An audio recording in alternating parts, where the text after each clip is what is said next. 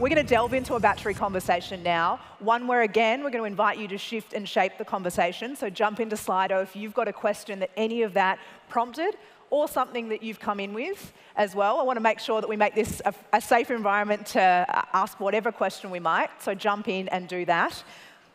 Please, in the meantime, join me in welcoming back to stage Simon, Christina, and Olivia. Or Christina, I should say. Uh, I think I'm trying to remember my order. Christina, Simon, and Olivia in that order. And also joining them is Nico Cuevas, the chairman and CEO of Urbix, a company founded in 2014 that produces natural battery grade graphite. Can you join me in welcoming our four fabulous panelists? Welcome, welcome. I love that you're appropriately dressed for Peace Day, Christina, too. Very fitting. Come on out. Welcome. Oh. You set up one hell of a panel conversation, the three of you. Um, and Nico, I might give you first chance to jump in before we start turning to some of the questions I've certainly got and to our audience questions. I mean, you heard the three talks, obviously. What for you resonated, or is there anything that you'd add in when you think about the framing that we've got for this panel, ethical bat batteries, from mining to recycling? What do you want to throw in the mix for conversation? Oh, sorry, I was just saying, after hearing the three talks, what would you like to add into the conversation? Is there anything that really stood out and resonated for you, or is there something you feel like you want to throw in that maybe hasn't already even been mentioned? Sure. I believe that, hi everyone, uh, thanks for being here. Uh, fantastic event. It's, it's, it's, uh, it's truly uh, inspiring to be able to, to, to be here with this, this panel, very, very, very uh, successful leaders here. Um, I would like to echo uh, the word pragmatic in this sense that you mentioned, Christina, at the end of your, of your, of your presentation uh, we tend to get too involved and too carried away with the ideological aspects of this energy transition, decarbonization, hugging trees, and things like that, with completely overlooking uh, what Simon mentioned, which is uh, that batteries mean mines. And he did say sustainable mining, and I think that's the approach that we got to consider. Not only mining, but what happens after you mine the material, which is the mineral processing. So uh, you guys pounded on this in, in your presentation, safety component as well. So uh, I'd be just repeating if I keep on saying that. But uh, uh the importance of midstream processing and understanding that uh, the capital must flow into this uh, company so that we can achieve our energy transition goals. I want to talk about that, the kind of the future is mining, because I guess Olivia and Simon in particular, you had interesting frames on that. I think, Olivia, yours was coming a little bit more from a cause for concern. You're looking at the state of play when you showed those charts at the end around the climate vulnerability, uh, the association of some of the countries with corruption, fragile economies, things like that. And then Simon, when you look at the projection of what's required, the reality that not only is it the existing footprint, but how much that's going to have to grow. I'd just be interested for your observations around how well these challenges are being lent to into at the moment. Because Olivia, I know you talked about here's the things we need to do. Is that underway? I mean, Simon, you outlined we've got a three to five trillion dollar capital challenge. To what degree are we leaning into kind of the political challenge that's sort of inherently in this mix as well? Well, it's an interesting thing because we were just briefly talking about this with Simon backstage. What's been interesting for a really long time about the decarbonization conversation is that we were focused on pledges. How do we reduce greenhouse gas emissions, and how do we particularly reduce them in energy intensive countries? Again, the mm. US, Canada, um, the OECD world, essentially. And that led to a conversation where it was all about trying to harness and incentivize the private sector particularly in the new wave of technological expansion, as I was saying, which is essentially the backbone of the new wave of economic growth. The problem with that is that countries in the OECD space put a lot of onus on the technological and industrial ecosystems, mostly the technological ones. Mm the whole challenge was essentially about how to become better battery superpowers, better, like, you know, to make better solar systems, better windmills and things like this, without ever fully taking into account the supply chains behind all of this. Because we were on top of it thinking, or we were living in an era where we believed in the power of globalization and we believed that it was here to stay. this has changed. A whole sort of set of ideological values and ideas are now crumbling. And that means that we need to look at the notion of supply chains from a strategic perspective. And that requires having Europe, the US, Canada look at these countries which have often been considered as being marginal in the economic system. They were the underdeveloped, they were the fragile ones. We never really sort of delved into the paradox that actually these countries have always been at the center of power systems, of the economic models, and that we actually depend on them, not the other way around. So it's reversing those power relations, which is going to be quite dramatic in the next decades, and will require us also to sort of change the way in which we think about these notions of technological powers and economic powers. Simon, I'd be interested in your view. I mean, you're advising and sitting on advisory boards for a couple of governments. You know, obviously the, the, economic lens and the reality of trying to shore up your uh, energy future in one regard. How much of the conversation is also about the shift in the geopolitical balance and the potential conflict situations that might eventuate as the balance shifts with the forecast in, you know, energy, kind of mineral intensive pockets of the world and, and how that might play out? Yeah, it's a good question, actually. Um, I mean, the first challenge has been addressed the last sort of 12 months, which is, okay, we need to build these battery plants. Then the realization is we need this volume of raw material. Then you realize they're tiny industries and they need to scale 10x in, in a short amount of time, in under a decade, effectively, mm. to feed it. And then they go, well, where are these raw materials coming from, or where they could potentially come from? Mm. And um, I mean, cobalt in the DRC is perfect, a perfect example, right? Is that you won't get cobalt in the volumes um, you need anywhere else but the DRC. Yet um, you can build hundreds of mines around, well, let's say tens of mines around the world, cobalt with nickel, or um, but you won't get. They're still very small. The, the, concentration of cobalt is very small outside of the DRC. It's quite a, a unique place, and so, you know, if you're if you're like the U.S. government or Canadian government, you're doing these deals, you should be going to do deals with the DRC government to help countries like that actually develop a sustainable infrastructure, mm. um, a transparent infrastructure to, to be able to grow and, and get, capture more value within that country. The problem is at the moment, there's no real talk on that. There's a little bit of talk, but not much action. Mm. It's almost like that's the next phase is first they're trying to solve how many mines can we build in North America? How many mines can we build in, in Europe? Then they'll realize actually um, the next step is going into countries that are higher risk. Countries like BHP Billiton and, and uh, have run a mile from the DRC. Mm.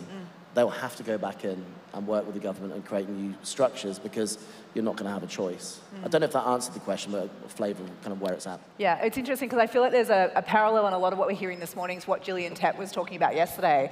She was talking about the idea of what's hiding in plain sight and I feel eh, all three of you in your TED Talks in different ways have talked about things that we should be seeing now that otherwise we're going to turn around in a decade and go, oh my gosh, how do we let this happen? And Christina, that was one of your points around safety, right? You know, we can see this already. We're not having enough of a conversation about it. Why is it something that we're not owning more and, and leaning into as a challenge, do you think? So I think change is hard, uh, but just tying into your previous question a little bit, we are missing the goal completely if we think everything will be mined from scratch.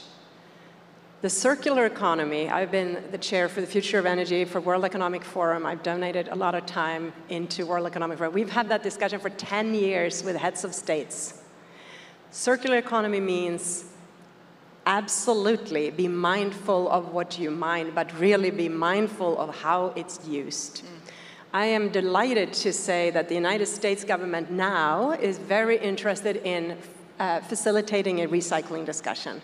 So, in the technology that I showed you earlier, you have a design element that is easy to recycle. So we can have that idea going forward. In fact, resources are only constrained if we throw them away and we have to go back and dig out new. Why not make devices, make this era of energy storage? So metals today are highly priced easy to fit into the economic framework of today, and very, very effortlessly. You can have a hub and spoke model with basically you can set the mine wherever you like, where you have green, clean energy. So I live in New York, so we have Niagara Falls. How cool is that? You have clean energy all the time, they fall all the time. So you could have that as a recycling center. There are many others. But the point is, we have to think about the question differently. So groupthink is very dangerous. If we acknowledge we have little time, raise the bar. We have to find ways to either stretch the economic framework or fit into it. I'm suggesting you need both. And you can make very, very sustainable manufacturing. You can make very, very sustainable thoughts on the circular economy of deployment and reuse. But we got to change how we evaluate that. Do we put a value? Do we put a price on carbon? We've tried that for many years. We didn't really succeed. We probably have to do that. But we also have to change our own mindsets. How do you see a product? Why are we throwing away the opportunity to say, oh, carbon is so cheap, I can just throw it away? Why not use the carbon resource to refurbish, to reuse? Why not? Well, that, Nico. Welcome any thoughts on what's been shared, but I also might throw you the top question uh, from the audience here, which is how do we ensure we don't repeat the same mistakes of mining energy resources as we transition to net zero? Any thoughts on that?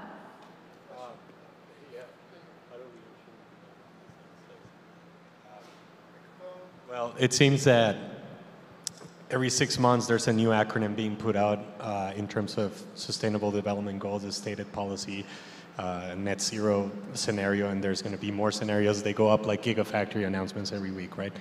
So um, mining energy resources is going to need to happen. I, I will take. Uh, I'll keep on going from your comments, Christina. Um, I think mining typically in the states when a mine gets announced it takes 12 to 18 years to become to get up and running right uh, permitting and things like that that's according to the international energy agency and things like that so uh, be mindful of that time frame. There's plenty of locations, plenty of allied nations that we could actually tap into um, that much rather get the money from a, a, a, North American or a European type of uh, a government program than they would from China.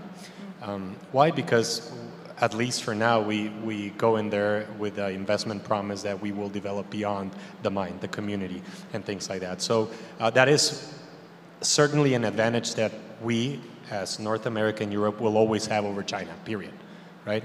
So we gotta take whatever little we can have so as we develop these mining projects, uh, we are able to sell those added values. Um, incorporating into mining, we shouldn't just say mining, mining, mining, mining. There's also the recycling component. Uh, and when we talk about recycling, alluding to your statement, Christina, it shouldn't be only focused in recycling the minerals. It's recycling the components and figure out what other applications you can give to those minerals so that you keep that circularity going, right? Um, to give you an example, why we shouldn't only focus on recycling the minerals. There seems to be a shift or announcements, if you look in the news, depending who you ask, from NMC chemistries into LFPs. Why? Because uh, many things. But NMC itself has a high density of highly priced minerals in it so that when you recycle those minerals, you could actually make a business out of it.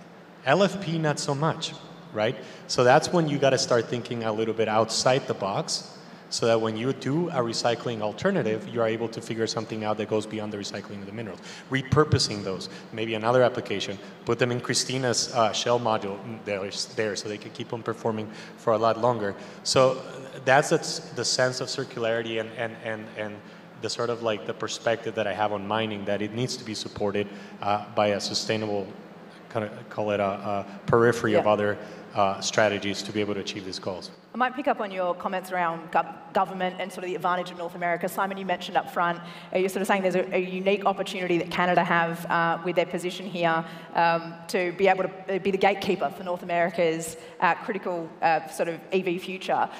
I want to ask you about the question the audience have come up with, which is what are the top two things the Canadian government needs to do to protect, promote that sort of opportunity, I guess. But I'm also interested in, you made a comment you alluded to, we might get into it later, the difference between mining itself and the minerals processing. Can you maybe delve into that part of the equation too? And is there an opportunity for Canada in that part of the value chain? Yeah, so good question. Um, so the first thing the Canadian government should do is match kind of rhetorical now what looks like policy with, um, with the realities of getting these mines actually up and running. Permitting, permitting, permitting. Same in Australia when I was there a month ago at the Sydney Energy Forum. Um, it's like the politicians like talking about it set the tone, which is needed and, very good. I'm not criticizing that. I love the fact they're talking about batteries and minerals, put it that way. But um, the reality is that then they have to go province by province and, and actually work, like, work on the pipeline, how these things are permitted, and shorten it by 10x. Seems to be this order of magnitude issue that we're facing, but actually view it through a new lens. Just do it for critical minerals that you're going to need to build these batteries. Um, then, you know, unlocks money into mining. Um, the gigafactories will then be built either here or just over the over the border in um, uh, over the border from, you know, Detroit, let's say, uh, in, in, on the east coast of Canada. Um, and all of a sudden, then a, uh, an advanced materials industry becomes. It just happens because it takes seven, ten years to build a mine. If all goes well, it take, you could probably do it in five years. Um, if all goes really well, it takes 24 months to build a battery plant. And then those chemical uh, steps in the middle actually can happen quite quickly if those two pillars are there. Canada can dominate this upstream. Um, it's just they've got to unlock that value, uh, unlock that process by addressing permitting, and we shall wait and see, I guess. Christina, I feel like uh, the question up the top here is picked up. You, you, talked about by design earlier in your conversation, so safety by design and the expectation and raising the bar in that regard. We've got a question here around the recycling piece. What are your thoughts on how the battery industry can create recycling by design into creation and the ability to reuse them after? How much is that part of the thinking at the moment? So for me, it has been, I've been part of the sustainability discussion my whole life. I wrote my first op-ed when I was 15. My, you are actually affectionately referred to as the queen of batteries, so she's not kidding. It's not an exaggeration. Thank you. So I think it's, it's in the design that I presented today. You just take those apart, you roll out and you strip, and it's so easy to do. The idea to work actively with governments for sustainable and better processing and mining is absolutely here. I also serve on the board, public board, US listed company of Livent, which is lithium, a lithium content company that owns mines and works across North America, brings old processing, best practice, sustainability, ideas, really expert team on chemical processing into the regions where they are active. This comes down to collaboration, working with partners locally, obligation for those who know to engage and teach and share and just hustle a little harder. So the clean in clean energy can't happen overnight. We are making a huge mistake if we all come to this thinking we're going to shut down the old paradigm. No, no, no.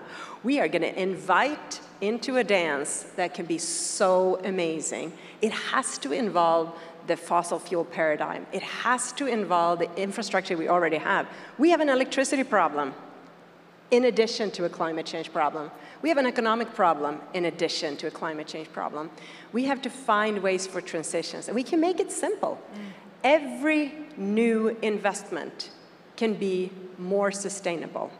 And if we make that as consumers, and we influence our governments, and we influence our companies, we will tip the scale in no time. In fact, I joke with my friends at BNEF all the time.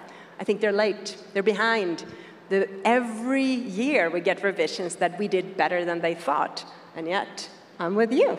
We're not fast enough, but it's happening. So I think there's no space in this discussion for depression or just giving up, resigning, we will all die. Not true.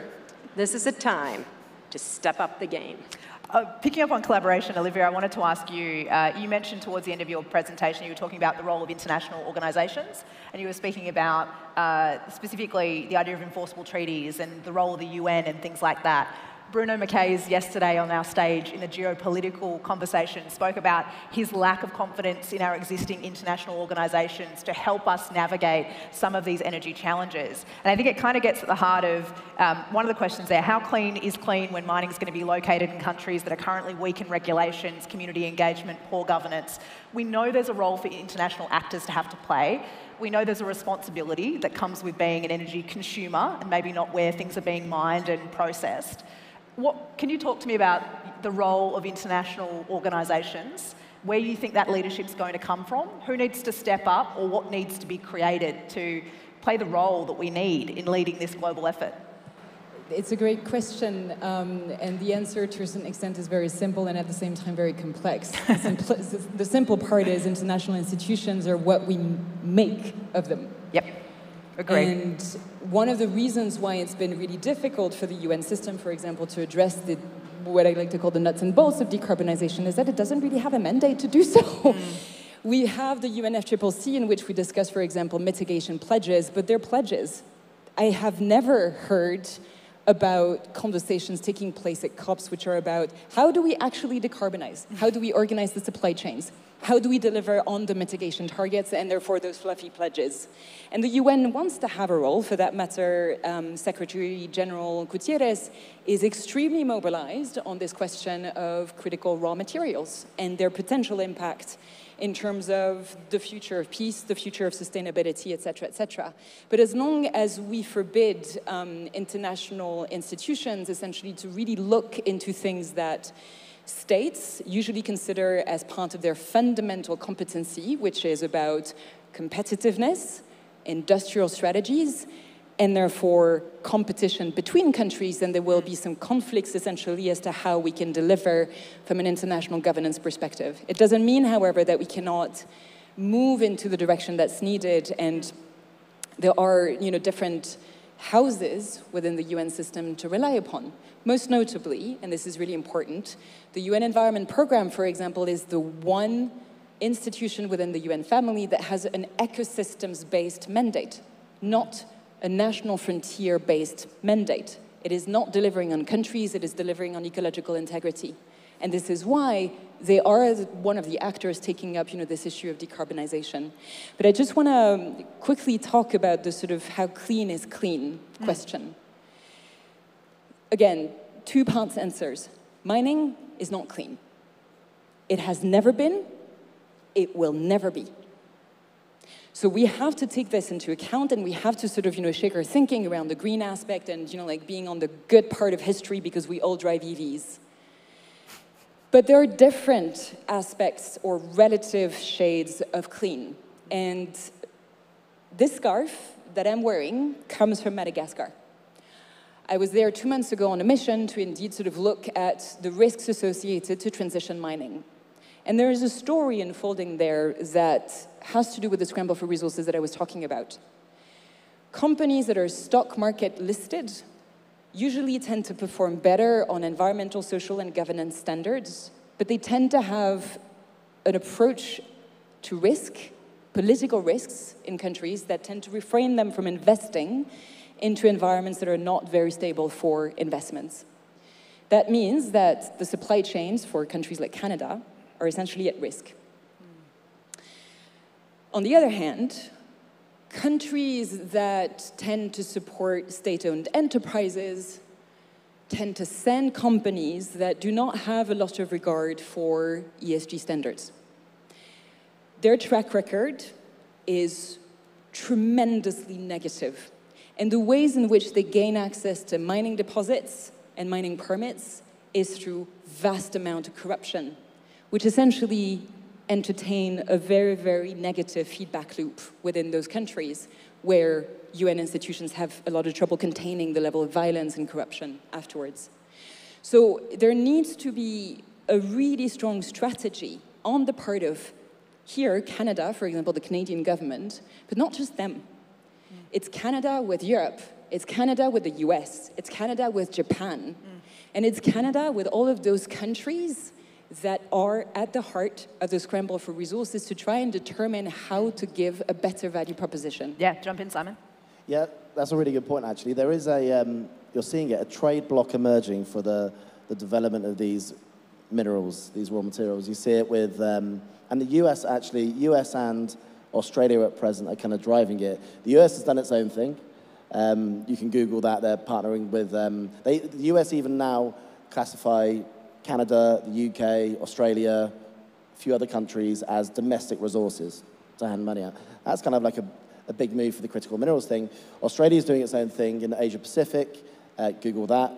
Um, and you're getting this kind of international trade block. But interestingly, these countries, the EU is doing its own thing. China's doing its own thing. There was some discussion with the US and EU recently, but it's kind of three distinct areas that are, are developing um, on the geopolitical sense. So it'll be interesting how these three regions interact and grow as we go forward.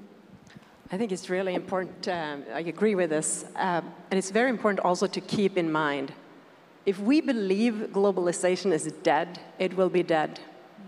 It is our obligation to make globalization work. We are in this in so many ways together. We're tied. Whether you happen to be born in a rich country or a poor country, climate change affects you, equality affects you, the opportunity to be a good citizen affects you. You have more means. We came here today to basically have a dialogue and a discussion. Globalization is not dead. That is also on our agenda. We have to reach out. We have to be a little kinder, a little more collaborative, a little more generous. This is really critical. Globalization is not dead. This is an absolute power panel, but would you believe we're nearly out of time? So I just wanted to close by asking each of our panelists for a closing thought, something for our audience to go away thinking about. I hope for a lot of people this has taken you into new territories of the battery conversation that you may not have explored before. It'll give you a new criticality when you're reading the extraordinary volume of articles and news stories we're seeing about batteries and EVs on a daily basis at the moment, or prices of lithium and things like that. But just something to, to finish and, and close with. Nico, I might come to you first and I'll go along the panel. Sure. Uh, what I like to always mention is that I think we have it wrong when it's us versus China, when it's who's going to be the winner in this energy transition. I, I believe there's got to be a lot of winners. You know, a lot of winners in order to even achieve a modicum of what we're going to need to be able to decarbonize the world, right? Uh, de- decarbonize our decarbonization goals. So that's it. Don't get too stuck with the idea, the ideological thing about hugging the trees. There's a pragmatic approach to this, and also as a banker, don't get stuck. Am I betting? Am I betting on the winning horse? You want a lot of winning horses. So that's how I kind of look at it. Olivia. Um, I suppose one parting thought, two maybe. Um, the first one is let's make sure that we ask ourselves constantly the right questions. Let's make sure that we step away from linear thinking. Linear thinking in the face of climate crisis is really not helpful. Whatever solution we're going to develop, particularly in energy intensive countries, is going to create some impacts, so called negative externalities, elsewhere because we're all connected. The other thing is how do we want to be connected? globalization is not dead. Globalization will only will always be there because, well, we share one planet. But what are the values that sustain globalization today? Mm. And this is the big question also related to China. China is not necessarily a problem in terms of leading the race, it's what China uses its power for in terms of leading the race. So if it is able to weaponize supply chains against, you know, human rights, for example, then I don't want this type of globalization on a personal level, and I hope that you don't want it either. Mm, Simon. Yeah, just on lithium ion batteries as a technology, lithi- traditional lithium ion batteries, NCM, LFP, they're getting better, cheaper, and abundant. That path is set. Uh, that's a 90%. Don't let the 10% distract you. 10% is going to happen, solid state, other chemistries, especially in the energy storage market. But traditional lithium ion is here to stay, uh, and that's where the money's going. Bring it home. Thank you. So, with an opportunity to collaborate and do big things, I would just say use the data, search for the data, look for the testing, make sure you stay in the game. And for those of you who came maybe with an idea that it's already over or I don't have to care, care. This is our time. Thank you. Wow, some big closing food for thought there. Can you join me in thanking our truly phenomenal panel and speakers this morning? Nico, Olivia, Simon, and Christina, thank you so much.